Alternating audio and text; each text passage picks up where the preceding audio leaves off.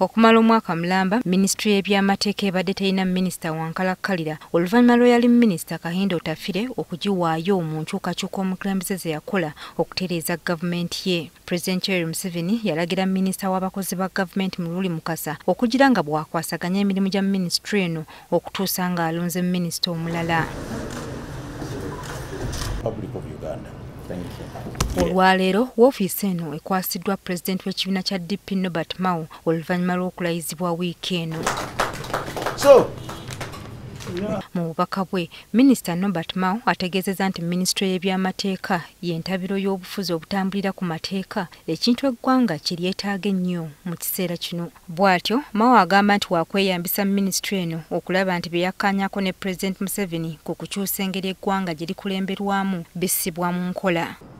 Tulina etteeka lino lye bayita public order management act. Erina okubeera ne regulations wansi waalyo. Nga regulations ziinterpretinga etteeka eryo.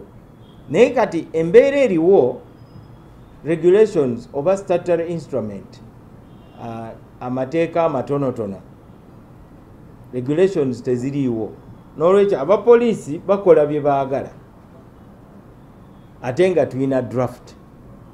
Ebintu ng'ebyo bye tulina okukulembeza. Kyokka kino okutuukirira mawo agamba nti kigenda kwesigama nnyo ku nrm okutuukiriza ebyo ebyakkaanyizibwako robert mao engeri gyenzize n'ebirowoozo ebirungi.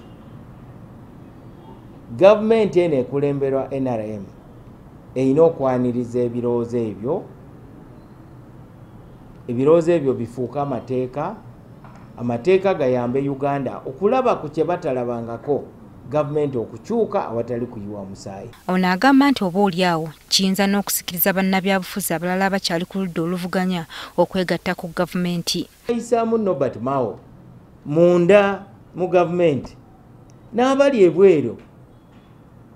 Bajja kuba bateeza amatu nga n'amaaso bagakanudde bagambe nti byayogera babiwuliriza byakola babiwagira n'olwekyo engeri gye banampisaamu kijja kugumya n'abatakkiririza mu gavumenti byekola.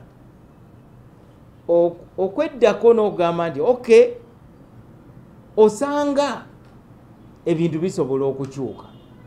N'olwekyo nange nina okufuba nnyo. Isinakato ntv ku ssaawa emu. Close. Will be closed. So welcome.